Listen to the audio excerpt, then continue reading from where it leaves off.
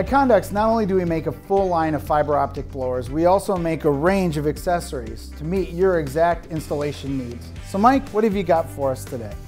Well, Jason, here we have our pressure test and proofing kit that's set up specifically for the GS150, the GS200, or the GS300, or you can buy the standard kit and get the individual sizes that you need a la carte. Uh, over here we have a full line of microduct couplers ranging from 5 millimeter all the way up to 18 millimeter. Here we have our same uh, range of couplers, but they're for direct bury underground.